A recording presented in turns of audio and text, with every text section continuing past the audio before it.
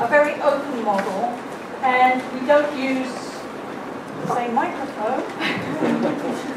we don't use, oh that's better. We don't have a set model. I think that'll become very clear to you. And just put it into context, please note that we are a global institution. We work on global vegetables and traditional vegetables, so global ones are your tomatoes, your cabbages, and so on. Um, the traditional vegetables are anything from pak choy to African eggplant to celery cabbage to moringa. We also work from research to development. Excuse me, I'm swapping over here. Research to development, the whole continuum. And we're not a CGIAR centre, we're a non-CG international centre. And we work along the whole value chain. So from genetic resources to breeding, to production, to post-harvest, to nutrition, we cover the whole range. And my job is to make sure that we have impact everywhere, on everything, throughout the value chains of all the vegetables, which is a huge job. And what I'm going to do in this presentation, which I have very limited time for, is to give you five examples where we think we've done well, and then as I talk through them, look at the geographic scaling, the issues, and try and pick up on what Richard said of the key things which are affecting the scaling. So I'll go first to tomato grafting. Why do we need this? Well, many of you possibly grow tomatoes. It's easy to grow tomatoes. It's incredibly difficult to grow them well, especially if you have soil-borne diseases such as uh, bacterial wilt, if you have nematodes, root knot nematodes, for example, or you get flooding. Temporary flooding, I don't mean six meter high flooding that lasts forever, but a couple of feet of flooding which will go away after two or three days. So the aim is to graft your preferred tomato variety onto a resistant rootstock, which could be a tomato, or it could be an eggplant, or it could be one of the other Solanaceae. And the impact of that in a trial is you get your tomatoes here, no tomatoes at all in a bacterial wilt infested field. So, as you see, all my slides will have a list down here with countries or innovations to look at. In Vietnam, a highlight, we trained one person, Dr. Vinh, back in 98, a champion. He went back and started to introduce grafting in Lam Dong and the Red River Delta. We're talking a long time scale here, so please note how long this is all taking. So we trained him in 98. By 2012, we found that we had 100% adoption in Lam Dong, which makes actual analysis quite difficult. The economists could probably agree with that, because we have nothing to compare them with non-adopters. 100%, 48% in the Red River Delta. That is because they do not have as much bacterial wilt in the Red River Delta.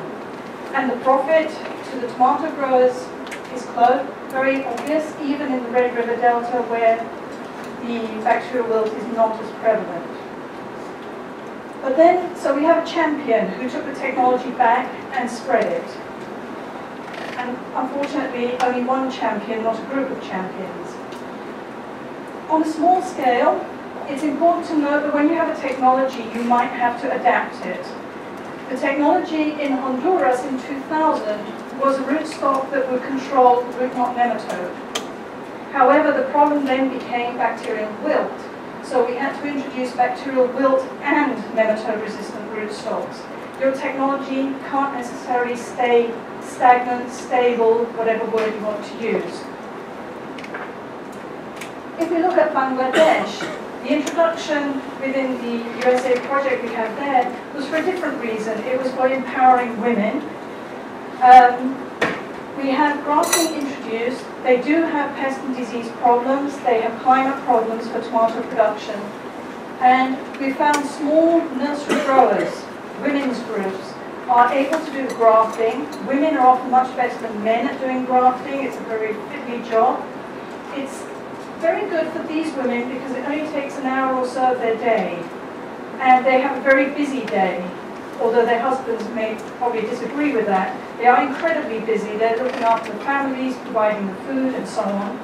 They're actually able to produce a few grafted seedlings. There is a need, the demand is there, whether they can continue to supply it, we don't know yet. They need some business training and they need to strengthen their groups. Please note they're adapting to local conditions. I'll mention this again later. In Indonesia, in the project there, we also have some grafting and some nursery operators have started to pick up the grafting technology. The demand is there if they know that there is a solution that they can have demand for. So a lot of it is getting the information on what the grafting will control, what it will cost them, and what their benefits are. Again, we have adaptation and experimentation by the farmers and the nursery producers. And we don't mind about that. We're very happy for people to adapt to suit their own needs, whether they're adapting at a very small scale like this. You'll see the national program copies our original very well. But real people in the real world can't use that. They're doing different things. Big commercial nursery in Vietnam, for example. Small scale in Bangladesh. Uh, we believe there's no one size fits all. Moving on to the next thing, integrated pest management. This is a bit of a more scientific issue. Eggplant fruit shoot borer. It's a very destructive pest, reduces yields significantly, the easiest way of controlling it for a farmer is to spray and spray and spray. However, if you use integrated pest management, if you can eliminate crop residue, if you can cut off and destroy borer-infested shoots, then use traps based with sex pheromones. They're the pheromones from the females that attract the males. So we capture all those males and keep them out of the way. And it will allow withholding of pesticide use, not eliminating, withholding. It's very difficult to get elimination of pesticide use on eggplant.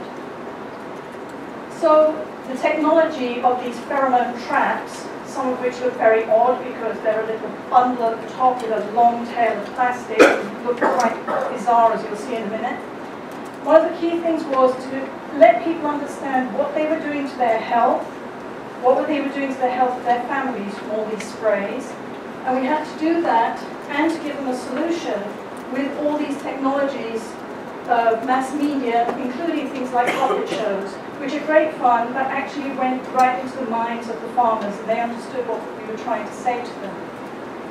And the reason that you want to introduce IPM for eggplant particularly, because I would not eat eggplant in South Asia. Pesticide sprays, after the IPM, these sex pheromone traps were introduced, Originally there were about seven, three sprays a week, two, but the number of sprays now is more on the one side. And you'll see that in Bangladesh, they were spraying uh, 110 times in the growing season in the summer. Now, 33 times. They were losing a lot less yield as well. 30% fruit damage compared to 75%, less labor needed although 110 sprays of toxic pesticides, we were trying to reduce that. It was only possible through private sector participation to create the pheromone lures themselves, to produce the traps in a way that the farmer could use. We had some small entrepreneurs in 2003. By 2005, nine enterprises were selling the traps. And just some quick figures here, uh, two of the enterprises had tripled their production and the unit cost had fallen from a US dollar per trap, which is unreachable for most of the farmers, to 10 cents per trap. It's doable. Private sector took it up, went with it, the demand was there. I don't know where we're at at the moment, that was 2005. Vegetable accessions and breeding lines, perhaps not a target for you, but I want to point out that for much of what you do, this new material is critical. We have a lot of material, and the key point is we work both with the public and the private sectors. However, individuals make a big difference. This is in Nicaragua. Thomas Laguna was part of a project, USA project, screening vegetable lines. The project finished, he was motivated and continued and has screened many thousands of vegetable lines, producing kits, seed packages for local farmers. However, additional funding, seed funding at the beginning, additional funding later, can sometimes push the outscaling to go much further once it has become sustainable on a slightly smaller scale. Our material goes around the world, which is great. We have a variety of releases. We don't release material, it's the public sector. However, in using the private sector to disseminate the material, the difficulty is the private sector will not tell you what germplasm they've used, where they've sold it, and the amount of seed that they've sold. So it's very hard for an international centre to get the data we need to quantify impact. Homeschool gardens is very important for women, for children. The ageing agricultural population in horticulture too is an issue. We're targeting school children for nutrition and as an income opportunity and to try and get kids to understand that agriculture is cool, it's okay. We have school gardens in India, uh, sorry, home gardens in India, funded by the Sir Tata Trust. And scaling out is done by NGOs. We don't have much control. We have a nice plan. We originally had seed kits, but now the NGOs are taking the gardens out themselves. And nobody follows the standard plan of how you should plant. That's okay for us too. Bangladesh, we have a lot of homestead gardens, but we did start with Helen Keller. That was how we originally started. And perhaps you should look at it and wonder why we had to restart again under this current USAID project. What was the issue and why? Why did we have to do it again? One of the key innovations this time is to have small seed packs. The farmers, the ladies can't afford the bigger seed packs, the smaller seed packs can often do the job. And we do provide basic information. They get some seeds, a watering can, some instruction for a day, and understanding how to cook the vegetables for their families.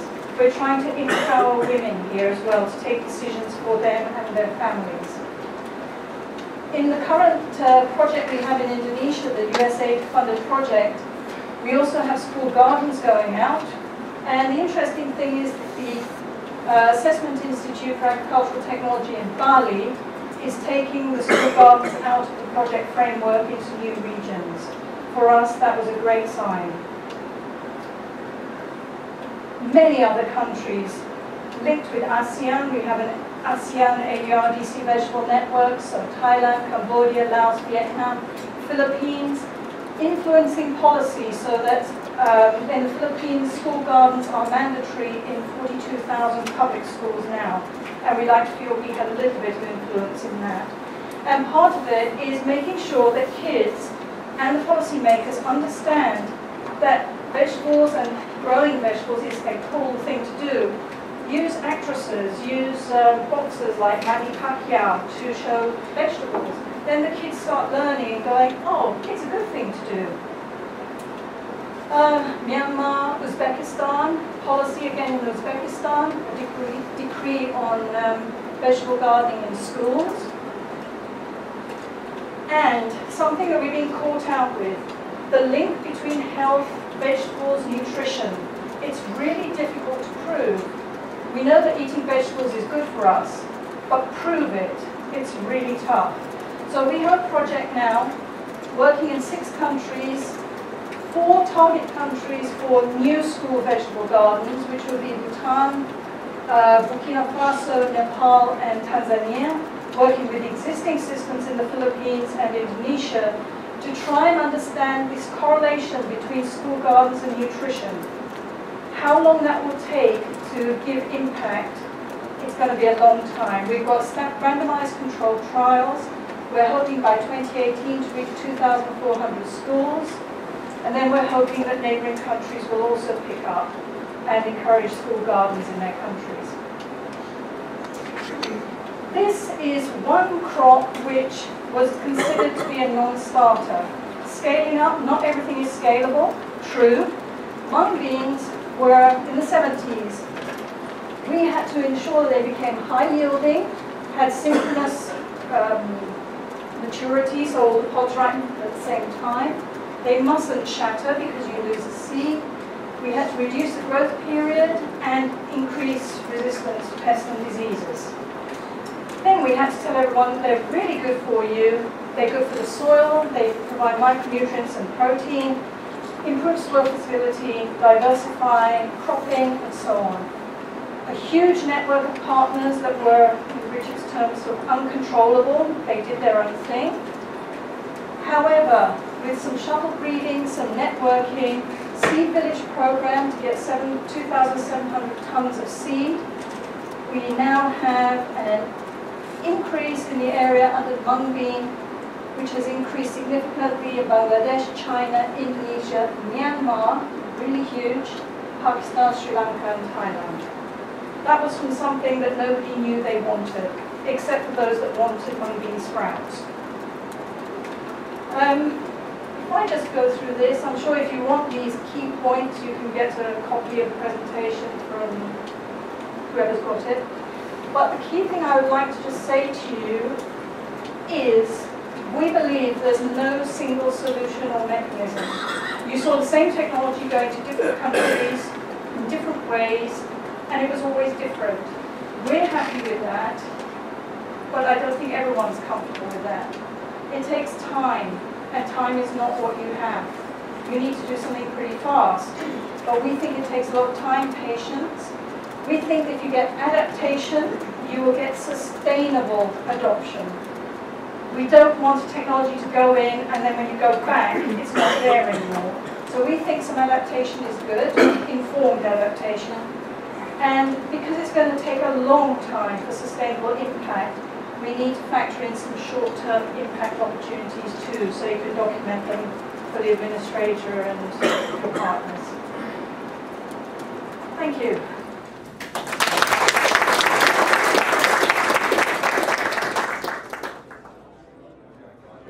To learn more about scaling and how you can contribute to this growing body of knowledge, please visit agrilinks.org/scaling.